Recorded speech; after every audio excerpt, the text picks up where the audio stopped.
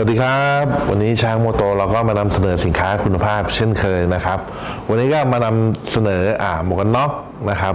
ลายใหม่ล่าสุดของอ่า The Doctor นะครับ เป็นลายอ่าฉลอง Anniversary ครบรอบ 20 ปีนะครับ ตัวนี้จะอยู่ในรุ่นอ่าพิต้า GPR นะครับพิต้า GPR ก็คือหมวกตัว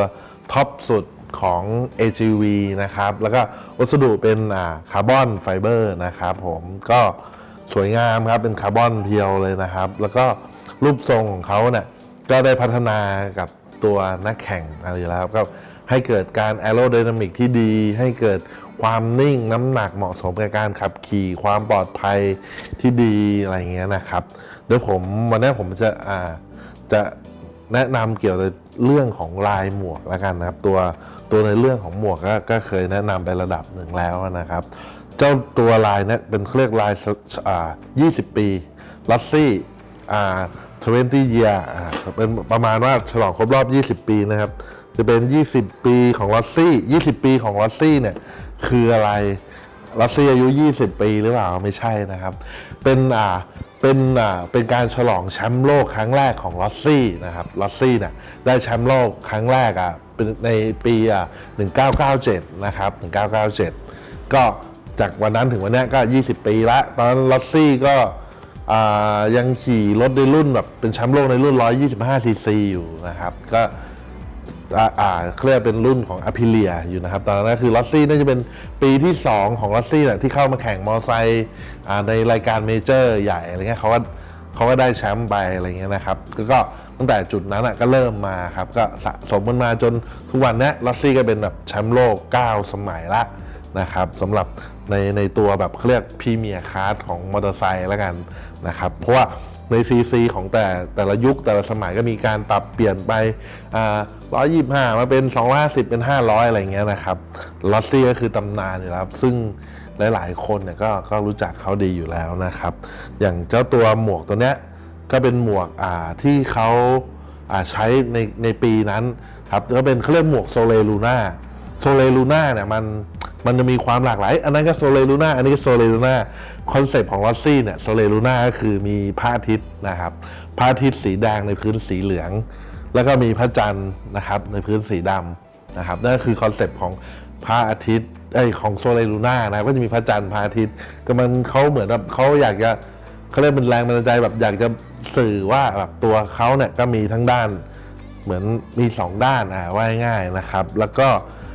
อย่างอย่างลายตัวที่มาปัจจุบันเนี้ยก็มีการแบบเขาเรียกว่าอ่าพัฒนานะครับจากดีไซเนอร์ระดับโลกนะครับ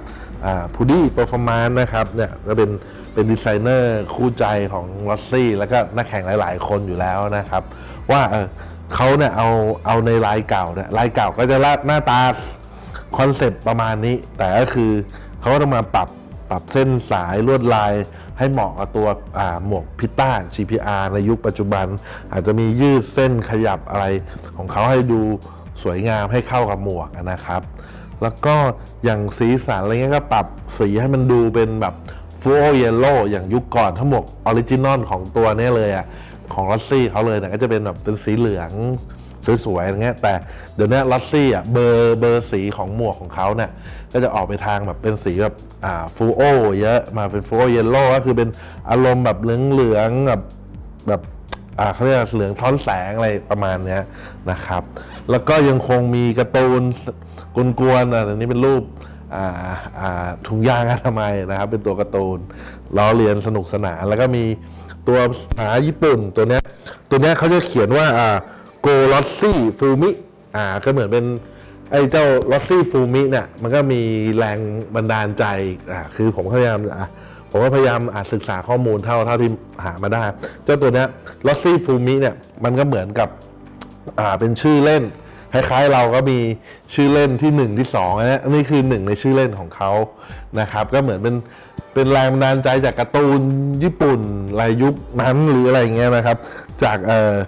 โนริฟูมิเอเบะเนี่ยคือมันเหมือนเป็นการ์ตูนเป็นเหมือนการ์ตูนเพลงญี่ปุ่นอะไรประมาณนั้นน่ะก็เลยก็เลยแบบก็เอาคำญี่ปุ่นตัวเนี้ยเข้ามาใส่ไว้นะครับผม แล้วก็โดยเส้นสายรวมๆเงี้ยก็สวยงามนะครับ ตัวนี้จะเป็นคาร์บอนสีดำเนี่ยตัวลายพระจันทร์เนี่ยก็จะทับมาก็จะเห็นลายคาร์บอนหมดเลยครับ ที่เห็นเป็นสีดำพวกนี้จะเห็นเห็นเห็นลายคาร์บอนหมดเลยนะครับ แล้วก็อย่างอย่างด้านนี้ด้านพระอาทิตย์ ก็จะเป็นสีเหลืองพระอาทิตย์สวยงามครับ เป็นสีเงาสวยเลยล่ะ เงามาก และสีสันสดใสมากๆเลยนะครับผม แล้วก็อย่างตัวด้านหน้าอ่าด้านหน้าตัวนี้ก็จะเป็นคาร์บอนเห็นลายคาร์บอนหมดเลยนะครับ แล้วตัวนี้ก็จะเป็นโลโก้อ่า20 ปีนะครับ46อ่า First World Title อะไรประมาณนี้ครับ ก็สวยงามครับ แล้วก็อยู่ในหมวกอ่า Pista GPR เงี้ยฟังก์ชันหลักก็เหมือนเหมือนหมวกทั่ว ๆ ไปอยู่แล้วนะครับสำหรับ เจ้าหมวกตัวตัวนี้นะครับจาก Rossi 20 ปี สวยงามนะครับ สวยงามเลยแหละ ถ้าเป็นอีกหนึ่งคอลเลกชันออแล้วที่ลืมบอกไปนะครับ จะผลิตมาแค่ 2,500 ใบทั่วโลกเท่านั้นนะครับ ถ้าใครอยากสะสมก็เป็นหมวกที่น่าสะสมอีกหนึ่งใบนะครับ เก็บไว้ในคอลเลกชันนะครับสำหรับตัวลอสซี่ 20 ปีนะครับผม ก็สวยสวยสวยเลยครับ ก็ไม่รู้จะพูดอะไรมาก ก็เป็นหมวกที่มีเนื้อเรื่องดี และก็น่าสะสมอีกหนึ่งใบสำหรับสายเก็บไม่ควรพลาดครับสำหรับตัวนี้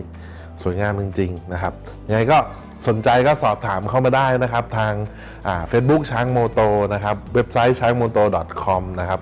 Line add ช้างโมโตแล้วก็ ฝากติดตามกันเยอะๆนะครับ ทางช้างโมโต Channel ทาง YouTube นะครับงั้นขอบคุณมากนะครับที่ติดตามชมกันและพบกันใหม่ในคลิปต่อๆไปนะครับ สวัสดีครับ